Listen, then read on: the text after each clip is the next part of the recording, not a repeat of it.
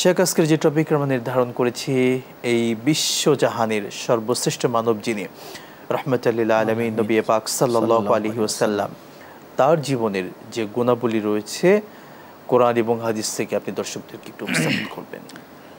আলহামদুলিল্লাহ রবিলমিন ওলাকিবতুল মুতাকিন ওসলাত ওসালাম আলা সঈদুল আম্বিউল মুরসালিন নবীন রহমতুল মবাউসিলাইন আলমিন। محمد صلى الله عليه وسلم وعلى آله وصحبه ومن دعا بدعوته إلى يوم الدين. قال سبحانه وتعالى أعوذ بالله من الشيطان الرجيم. بسم الله الرحمن الرحيم. لقد كان لكم في رسول الله أسوة حسنة. لمن كان يرجو الله واليوم الآخرة وذكر الله كثيرا. وقال سبحانه وتعالى আলা আজিম খুবই চমৎকার প্রশ্ন আলহামদুলিল্লাহ আলহামদুলিল্লাহ। রহমতুল্লাহ আলমিন। মোহাম্মদ সাল আলী ওয়াসাল্লাম আল্লাহ সুবহানহ তালা যে গুণাবলী মানবিক এবং তার দৈহিক এবং গঠনগত সব দিক দিয়ে যেভাবে আল্লাহ সুফান হুতা আলা সুস্পষ্টভাবে বলেছেন যে গুণাবলীর মধ্য যে ওয়াইন্নাকালা আলা খুলুকিন আজিম হে নবী নিঃসন্দেহে আপনি উত্তম চরিত্রের উপর প্রতিষ্ঠিত।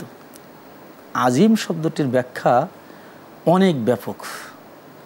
যে এত তার ফার্স্ট ও লাস্ট মিনাল বিদায়াত ইলান নেহায়া শুরু থেকে শেষ পর্যন্ত যতটুকু আসছে তার জীবন চরিত্র মানে তার গুণাবলীর ভরপুর যা একটু আগেই আপনি আমাদেরকে বললেন যা বর্ণনা করে কোনো দিন শেষ করা যাবে এবং কেউ শেষ করতে পারো না। আল্লাহ সুবহানতাল্লাহ এই জন্য বলেছেন তার গুণাবলীর মধ্যে যে তিনি হচ্ছেন এমন চরিত্রের অধিকারী যে চরিত্র এমন মহান যার গুণাগুণ এবং যার চারিত্রিক বৈশিষ্ট্য বর্ণনা করে শেষ করা আদৌ আমাদের পক্ষে সম্ভব। কথা কেয়ামত পর্যন্ত আগত প্রতিটি মানুষ জি জি জি। তাদের জীবনের প্রত্যেকটা সেক্টরের সমাধান কিন্তু রসুলের জীবনীতে পাবে। অবশ্যই এই জন্য মানবতার বন্ধু। মুক্তির সনদ মোহাম্মদ রসুল্লাহ সাল্লাহ সাল্লামের ক্যারেক্টার সম্পর্কে চরিত্র সম্পর্কে আয়সা সিদ্দিক রাদি আল্লাহ আনহা যিনি তার সরাসরি স্ত্রী আবাকা সিদ্দিক রাদি আল্লাহ আনহর মেয়ে তাকে জিজ্ঞাসা করা হলো যে মা খুলুকু রসুল করিম সাল্লাম চরিত্র কী? তিনি আজা বা তকাল তিনি জবাব দিলেন এবং তিনি বলেন কানা খুলুকুহু আল কোরআন তার চরিত্র হলো গোটা আল কোরআনুল করিম। অর্থাৎ কোরআনুল করিমের মধ্যে মোট আল্লাহ সুবহানতলি একশো চোদ্দোটি সুরা নির্ধারণ করেছেন। মাক্কি এবং মাদানী যুগে মদিনায় থাকা অবস্থায় আবার মক্কায় থাকা অবস্থায়। এই গোটা কোরআনের কারিমের মধ্যে যতগুলো যে দিক আছে সেটা হচ্ছে রসুল করিম সুবহান তাহলে শেখ আমরা প্রথমেই যে বিষয়টি আসলে জীবনে তো অনেক দিক রয়েছে। আসলে এত দিক নিয়ে আলোচনা আমাদের এই স্বল্প সময়ে সম্ভব। নয়। রসুল পাক সাল্লাহ আলহি সাল্লামের দৈহিক গুণাবলী যদি একটু দর্শকদেরকে বলতেন। রাসুল করিম সাল্লামের দৈহিক গুণাবলীর মধ্যে সবচেয়ে বড় যেটা বল? যে তিনি এমন লম্বাও ছিলেন না, আবার এমন খাটোও ছিলেন না। চুলগুলো ছিল এমন অবস্থা, কোকড়ানো অবস্থা এবং তিনি এই অবস্থার মধ্যে থেকে তার দৈহিক মানে গঠনের মধ্যে আনাস বিন মালিক রাজিল যে আল কামার যে চন্দ্রর মতো গোলাকার সুফহান আল্লাহ মারবু আন বলা হয়েছে যে সুফহান আল্লাহ ইবি হামদি সুফহান আল্লাহ আজিম তাহলে একটা মানুষের দৈহিক গঠনগত দিক দিয়ে যে সৌন্দর্য থাকার মতন দেখলে সুঠাম এবং সহজ এবং সাবলীল এবং সুন্দর দেখা যায়। ঠিক আল্লাহ সুফহান তার গঠন এবং তার দৈহিকের মধ্যে আল্লাহ সুফহান এটাই রেখেছেন। তো এটার মধ্যে বলা যায় যে তিনি হচ্ছেন এমন লম্বাও ছিলেন না আবার এমন কি? যে খাটোও ছিলেন না। আমরা শুনব আরও রসুলের জীবনী থেকে একটা ফোন কল নিচ্ছি। আসসালামু আলাইকুম রহমতুল্লাহ। দর্শক কে আছেন? প্রশ্ন করুন। দুঃখিত লাইনটি কেটে গিয়েছে। আমরা অপেক্ষায় থাকলাম দর্শক পুনরায় প্রশ্ন করবেন। শেখ রসুল পাকসামের দৈহিক গুণাবলী নিয়ে বলছিলেন রসুল পাকসাম তিনি অধিক লম্বাও ছিলেন না আবার বেটেও ছিলেন না। একজন পরিপূর্ণ মানুষ সুন্দরের দিক থেকে যতটুকু হওয়া দরকার তা ছিলেন। যে কোনো কোনো বর্ণনা আসছেন যে এরকম আকৃতি এত সুন্দর আহসানুল উজু আহ আহসানুল ওয়াজ।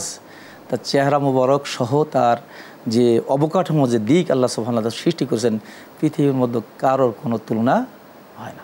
আল্লাহ এবং কেউ কেউ বলেছেন যে আসলেই তার দৈহিকের বর্ণার ক্ষেত্রে এটা বর্ণা অতীত যে আল্লাহ সুবহানাতালা যেভাবে সৃষ্টি করলে যে প্রিয় নবী রহমতুল্লাহ আলামিনকে কুল কায়নাতের সাথে আলহামদুলিল্লাহ মানে সাদৃশ্যপূর্ণ এবং দেখতেই ভালো আল্লাহ সুবহানাল্লাহ ঠিক সেভাবে তাকে তৈরি করেছে রসুল সাল্লাহ আলহি ওসাল্লাম তিনি যারা সাধারণ মানুষ ছিলেন অর্থাৎ অতি সাধারণ তিনি তো ছিলেন রাষ্ট্রপ্রধান মহান একজন ব্যক্তি।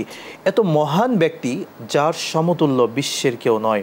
এত মহান ব্যক্তি হয়েও তিনি সাধারণ ব্যক্তি যারা ছিলেন তাদের সাথে আচরণগুলো কেমন করছেন সুহান আল্লাহ হামদি সুহান আল্লাহ আজিম চমৎকার প্রশ্ন করছেন।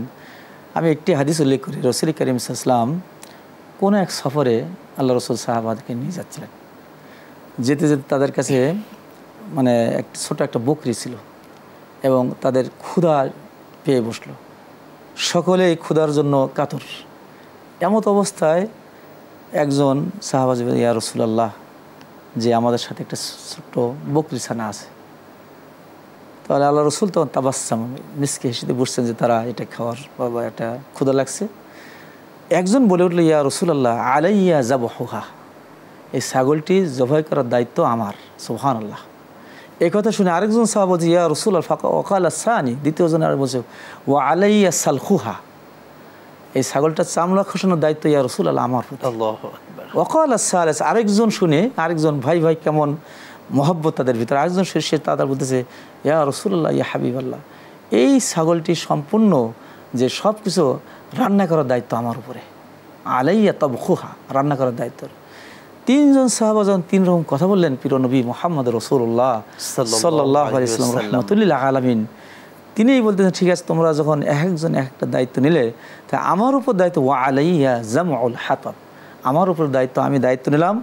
ওই মরুভূমির ভিতর থেকে সব কিছু কাঠ সংগ্রহ করে করে এনে তোমাদেরকে জ্বালিয়ে খাওয়ানোর ব্যবস্থা এই হাদিস থেকে আমরা বুঝতে পারি যে একদম সাধারণ যে সাহাবাকে রাম রাদিল্লাহ তারা এক একটা দায়িত্ব নিয়ে অথচ হচ্ছে সৈয়দুল মুরসালিন মোহাম্মদ রসুল্লাহ সবচেয়ে যে কষ্টের কাজ সেই কষ্টের কাজ থেকে তুমি রসুল করিম ইসলাম নিজে হাতে নিলেন। অথচ আমাদের এখে- আমাদের সমাজে বা আমরা যদি দেখি আমাদের আশেপাশে কেউ যদি একটু মহান হয়েছে অর্থ বা ক্ষমতা বা পাওয়ার প্রতিপত্তি তার কিন্তু মনে হয় যে তিনি মাটিতে পা ফেলতে চান আমরা যে কথা এটি তো অহংকার। এটি কিন্তু এটা অহংকার এবং এই অহংকারের কারণে তার পতন হবে। আপনাকে অসংখ্য ধন্যবাদ শেখ। অল্প সময়ে রাসুলের জীবনীর অল্প কিছু দিক নিয়ে আলোচনা হয়েছে। শুক্রান জাসাকুম হাইয়াকুম আল্লাহ বারাকুল্লাহ আমিন।